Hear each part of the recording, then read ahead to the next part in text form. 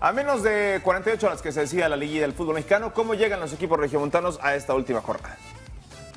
No se pueden hacer daño, aquí está el chupete, filtra, Pavón, la tiene, Pavón, Pavón, gol, gol, gol. Llegó el cierre del torneo para los equipos regios.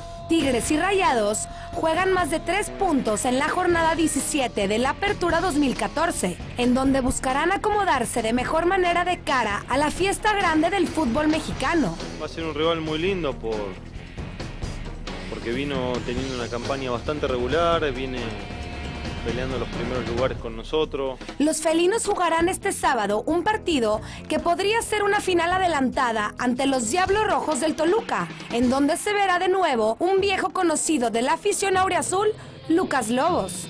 Tigres de ganar estaría asegurando el segundo lugar de la liga y hasta podría treparse a la primera posición del campeonato. En caso de empatar o perder, podrían caer hasta el quinto puesto de la tabla general. Jugar con esa presión que tienen ellos. Al final ellos son los obligados en un principio, ellos son los que tienen la racha negativa, entonces bueno, trataremos de jugar con eso, pero la realidad es que nosotros no especulamos con lo que pueda hacer el rival. Vamos con Arellano, golazo, golazo, golazo.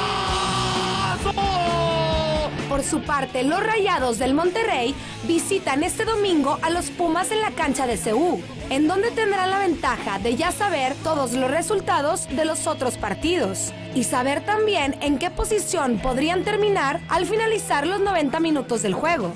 Los albiazules tienen 27 puntos. De ganar, podrían alcanzar hasta la segunda posición del torneo.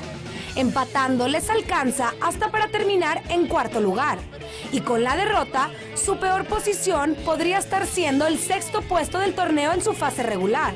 Tigres y Rayados tienen dos partidos importantísimos este fin de semana, con miras a la próxima liguilla del fútbol mexicano, en donde un clásico regio está más latente que nunca.